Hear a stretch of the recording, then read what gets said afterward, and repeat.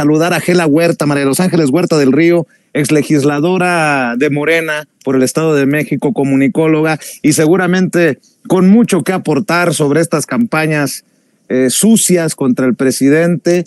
Y, y, bueno, hacemos lo que creo que corresponde apegado a la congruencia eh, en esta convicción por la transformación desde espacios como sin censura para dar la batalla contra la desinformación y obviamente también me va a dejar algunas eh, opiniones que dejarán la víbora chillando sobre este proceso que nos ha llevado a pues a señalar a personajes que aparecen en las listas rumbo a la próxima legislatura como Sergio Mayer, solo por mencionar un ejemplo. Querida Gela, buenas tardes, ¿cómo estás?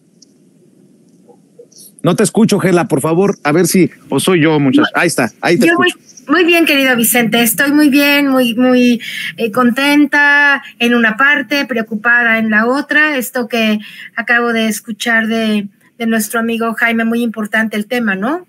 Sí, pues tú me dices por dónde le entramos. Yo quiero desarrollar algo de eso, porque fíjate, Vicente, que um, ayer justo escuchando, bueno, yo llevo muchos años, como tú sabes, de, trabajar y estudiar el tema de los medios de comunicación, de la comunicación pública política. Eh, eso ha sido mi especialidad. Y he seguido hace mucho tiempo a el querido Fernando Buenabad, el doctor, que tú sabes que es un especialista en el tema. Y me parece que eh, necesitamos poner en contexto este asunto del New York Times, ya lo ha explicado muy bien eh, eh, Jaime, creo, en la parte de cómo esta estrategia específicamente funcionó y sobre todo cómo la reacción de, México, etcétera. Pero yo quisiera introducir un, un asunto más que es el tema de la guerra, digamos, eh, global de la manera en cómo ahora, ya lo ha dicho muchas veces el presidente y muchos especialistas, de lo que se trata es de conquistar las mentes. Ya no es una guerra de los fusiles, ya no es una guerra ni siquiera del hambre, aunque lo siga siendo en algunos países, pero lo que viene es una guerra de las mentes. Es decir, lo que quieren los imperios es apoderarse de tu mente, de la mente de las audiencias y desde ahí dominar. Y entonces les va a salir más barato todo. Dice el doctor Abad que son las guerras cognitivas, que esas son las próximas guerras que se van a librar y son guerras que se van a librar por conquistar las cabezas, las conciencias, las decisiones de las personas. Y es en ese contexto en el que creo que necesitamos eh, mirar esta guerra sucia de comunicación que hay, no solamente en escala nacional, sino en escala internacional, contra el movimiento de la Cuarta Transformación. Por supuesto, no es solamente el caso mexicano, sabemos nosotros que, que en Brasil que en Argentina y que en Bolivia y que en Colombia, etcétera, esto ha ocurrido hace muchos años y han perdido los, fíjate, momentos muy culminantes de la izquierda que trabaja y que logra cosas y después eso se pierde, se ha perdido. En Argentina, el caso argentino, pues es de lo más triste, ¿no? Este, pero el caso de Lula, que ganó ahora, pero perdió antes, estuvo en la cárcel, como sabes, y todo tuvo que ver con, y Bolsonaro de la superderecha después de Lula. Entonces, estos, estos fenómenos latinoamericanos que hemos visto ya con frecuencia, responden en una buena parte a que me parece a mí que los gobiernos, y en esto incluyo a, el presidente López Obrador, aunque como también lo dijo el doctor Abad, tiene una estrategia con la mañanera extraordinaria, ¿no? De conciencia a la gente, eh, el trabajo que se ha hecho en las redes, como lo que hacemos nosotros aquí, bueno, tú y, que nos invitas a hacerlo contigo, etcétera. Pues es un trabajo importante, pero hay que decir que eh, todavía esta guerra sucia que está emprendiéndose, ya llevamos muchos años de una guerra sucia contra el presidente López Obrador, ha ido subiendo de tono, ahora tiene ya también cómplices en el imperio, como el New York Times y como eh, eh, la DEA incluso, ¿no? No se diga las fuerzas que los propios mexicanos que están instalados eh, en Estados Unidos también ahí han movido muchas redes, ¿no? Eh, eh, yo conozco gente de Estados Unidos que me ha escrito, ¿qué, ¿qué, pasa con ese presidente? Tu presidente está loco, ¿qué te O sea, gente en la que ya permeó, ¿no? La información, mexicanos mismos, en la que ya permeó la información y ya están un poco dudando incluso de eh, lo que pasa en México. O sea, el poder de estas empresas, ¿no? Como el New York Times y como muchas agencias televisivas, tú conoces muy bien cómo está definido los Estados Unidos. Exacto. O sea, eh, lo que, ¿qué está pasando a nivel nacional y a nivel internacional? Está pasando que la derecha que quiere regresar al poder, los oligopolios, no solo mediáticos, sino intereses económicos brutales en México y en el imperio, tuvieron que dejar de saquear los bienes de este país, los tuvieron que dejar de saquear porque tuvimos, tenemos hoy hasta ahorita un presidente que de alguna manera puso un alto, ¿no? Se dio a respetar y dijo, no vamos a seguir vendiendo eh, la soberanía nacional. Pero ellos quieren nuestro litio, nuestra agua, nuestro petróleo. E, eso es lo que ellos quieren. El imperio y las grandes empresas internacionales y nacionales quieren los negocios, los miles de millones de pesos que se están repartiendo entre la gente pobre, etcétera. Entonces, están luchando por regresar. Y claro, hay mucha, mucha gente, pues, eh, no ilustrada, no informada, de derecha, que no entiende la realidad, que es clasista, que es racista, que quiere, pues no sabe por qué, no sabe que está alimentando los intereses del imperio de los blancos y que ellos se van a quedar igual de fregados, pero que ya la mente está invadida. Entonces, ¿qué escenario tenemos? Lo que acaba de hacer el New York Times, lo que dice Loret de Mola, lo que dice Al-Raki, lo que dicen en la tele todo el día, todas las entrevistas en la televisión convencional en favor de, la señora Xochitl Galvez. Y la cosa está muy dura. Yo eh, escuché ayer a una gran periodista también de la familia de Sin Censura, Nancy, eh, de Contralínea, decir algo que, que yo también pienso y que me parece que es muy importante repetirlo. El presidente está demasiado confiado parece que el presidente no está demasiado confiado en el pueblo sabio, en que hay una gran conciencia, como le dijo a la periodista de, de, esta Fíjate que difiero, el presidente está más claro que nunca de lo que está pasando. Pero no se puede, te voy, a decir, te, voy a decir confiar en qué sentido.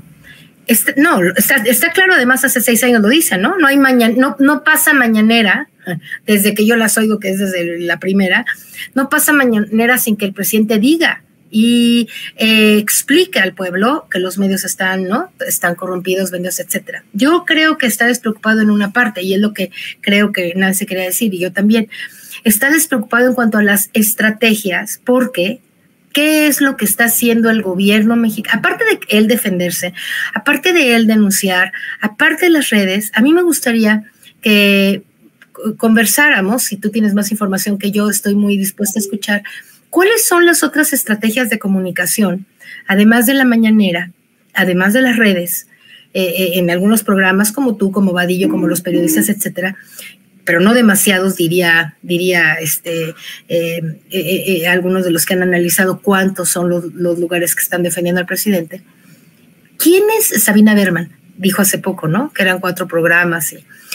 ¿Qué es, además de esta estrategia que dibujaba Sabina Berman, la estrategia del gobierno mexicano para eh, tratar de, de alguna manera de limitar la fuerza, el poder, el impacto de los medios convencionales en, en este país. ¿Me, ¿Me, puedes tú un poquito, a lo mejor en, este, en esta conversación, me puedes tú decir qué es lo que tú piensas sobre qué más estrategias hay? Pues, pues. Es lo que es lo que decíamos, ¿no? O sea, el problema no es que no lo tenga claro. El problema no es que no se defienda en la mañanera tres horas diarias hace hay más de 1.700 mañaneras en las que todos los días el presidente se defiende. El problema es que tú no puedes poner solo, por más, el, presidente es el líder carismático, es uno de los líderes carismáticos mundiales, fíjate bien lo que te digo, ¿no? Lo analizan algunos de los grandes, lo han analizado politólogos, Max Weber habló de, de los tipos de liderazgo, dijo que líderes carismáticos y Andrés es uno de ellos, se va a contar con los dedos de la mano y van a sobrar los de este siglo. Y Andrés va a estar en ese, en ese, en esa categoría. Y como él es un líder carismático, lo acabo de escribir en un artículo, Él es un líder carismático y entonces no pueden los poderes globales contra él, no pueden, no han podido. Fíjate cómo él solo ha atajado los poderes globales, estamos hablando de la DEA, de la CIA, de la mafia local, de las mafias internacionales, del New York Times, porque el tamaño del liderazgo de Andrés es absolutamente monumental. ¿no? El problema que tenemos, Vicente, y es en serio, es que una vez que el líder eh, se quite, porque además él se quiere quitar, el pueblo no quiere que se quite, volveríamos a votar por él todos otra vez, ¿no? Pero está cansado, pero ya él cree en la no reelección, etcétera. Entonces, en cuanto se quite el líder, ¿qué es lo que va a pasar? Entonces, tienes aquellos poderes que son los monstruos, hablo de monstruos, poderes globales en serio, ¿no? En contra de un presidente con el que no han podido, y eso hay que decirlo también, el presidente López Obrador no lo han podido eh, este, sentar los poderes globales, mucho menos los poderes nacionales hasta ahorita. Pero una vez que tú quitas al presidente de la fórmula política, porque ya se va a, su, a su casa en, en, Chiapas, a su rancho, entonces, ¿qué va a quedar? Buena, buena pregunta me lleva, eh, y, tú sabes que siempre ando contra el tiempo, me lleva a, otro tema, mi querida Gela. Va a quedar Lorenzo, los, digo, sí, adelante. los que vayan a quedar en, en el movimiento como representantes, digamos, en la Cámara de Diputados o en el Senado, son los mejores perfiles, los más comprometidos para defender la transformación de la mano de Claudia Sheinbaum y obviamente eh, defendiendo lo que ha ido pavimentando Andrés Manuel López Obrador?